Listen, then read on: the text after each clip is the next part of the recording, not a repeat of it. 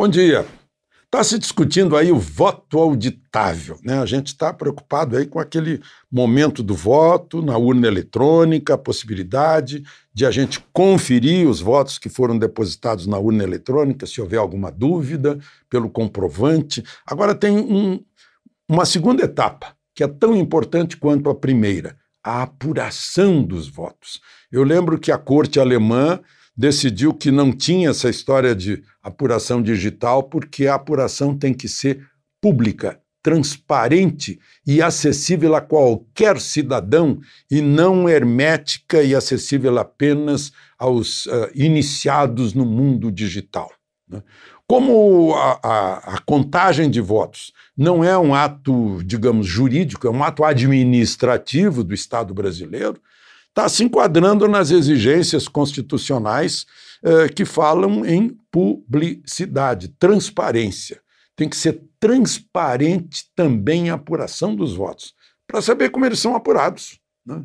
Ah, é preciso que a gente pense a respeito disso e vamos, e vamos tornar mais aberto, mais transparente e mais confiável né, o nosso voto. Não apenas aquele voto que a gente deposita, mas também a soma dos votos, para saber se o, o voto que você põe e que pode ser decisivo numa eleição, aliás, sempre é decisivo, porque se você votou em alguém que ganhou, foi o seu voto que, que fez ele ganhar. Todos os outros foram sobra, não é verdade?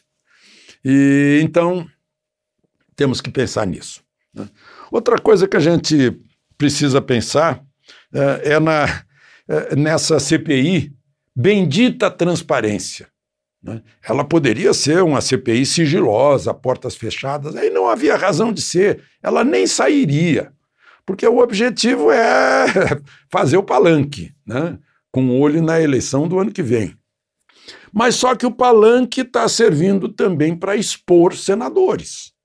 Eu, nesse fim de semana, eu conversei com muita gente e eles acompanharam, né, gente que acompanhou as, a, os depoimentos da semana passada e verificaram que, por exemplo, Ernesto Araújo e, e o general Pazuello foram muito superiores em argumentação, em raciocínio, do que muitos senadores. Né?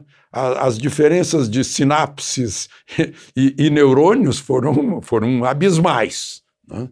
É, a gente, às vezes, ficou pensando que tinha algum problema mental em, em senadores. Né? Isso está tá pegando muito mal para eles, é, essa exposição. Né?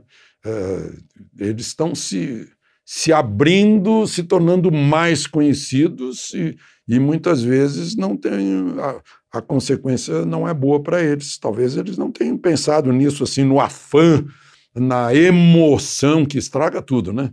Emoções estragam bastante. O general Pazuello e o ministro, ex-ministro Araújo foram modelos de, de racionalização e cabeça fria para responder com todos os dados que eles tinham.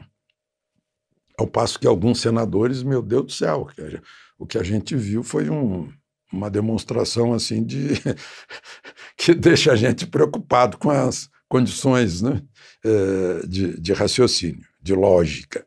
Bom, eh, vamos em frente. Por falar nisso, o senador presidente da CPI eh, me deixou muito preocupado, inclusive pessoalmente, né? porque ele disse que vai fazer, pelo menos eu li, eu li no noticiário, que ele vai fazer um projeto de lei para criminalizar o ato médico de prescrever medicamento que não esteja cientificamente comprovado, não sei exatamente o que é isso, né, ou que não esteja na bula. Bom, eu já fiquei assustado pensando que o meu cardiologista possa ser preso e eu ser preso como, como cúmplice dele, porque ele, eu, eu tenho, tenho tomado já faz tempo um remédio que é para manter a flexibilização, funcionamento da válvula cardíaca, que, que pode, com o tempo, acumular cálcio.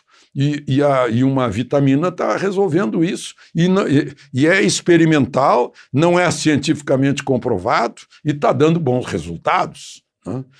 E, e assim acontece com centenas de tratamentos, centenas de tratamentos é, que ainda não foram, não, não foram publicados na revista científica, etc. Mas é assim que funciona a ciência. A ciência vai experimentando com a, com a anuência do paciente o que dá certo e o que não dá certo. Né? E, e, é assim que a ciência descobre remédios ou amplia o, o, o, o objetivo, a, a, aplicação de certos remédios. Né? Tem aí um remédio, por exemplo, que está se descobrindo que é, que, que é, é quase um, um, um, efeito geral sobre vírus. Né? É, não apenas um vírus, mas de, de várias doenças. Né? Então eu, eu, fico assustadíssimo com isso, né? É, porque eu quero continuar tomando essa vitamina né? e eu não quero que, que o meu cardiologista seja preso eu não sei de onde é que.